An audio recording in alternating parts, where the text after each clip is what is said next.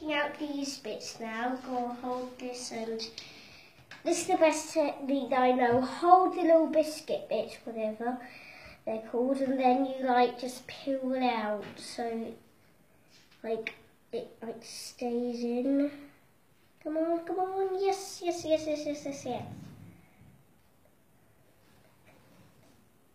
Oh, get off, get off, yes. Right, so get out of here, Waste. You go over there and jump. Right, so how did you sneak back in? How the heck did you sneak? You go over there with the rest of your friends.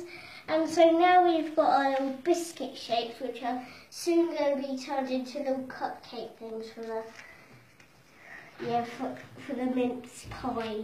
So we got we got four, and then we got five, and then we got six. So what we're going to do now is literally just put them in here. Put them in here. And then like push them down so they get into the shape of the cupcake things that you do. You know, when you make a cupcake, they've got like those little party things. Yeah. You know what I mean, don't you? Also, the technique. Perfect. Next one.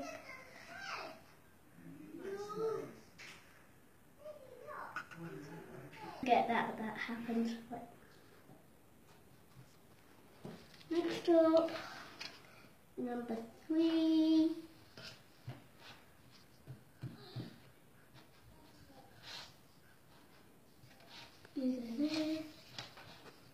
That's why you've gotta make sure like the sides on I think. And you gotta make sure that like a little bit of the thing is poking out. And I got to tell you, I'm surely not very good at doing that.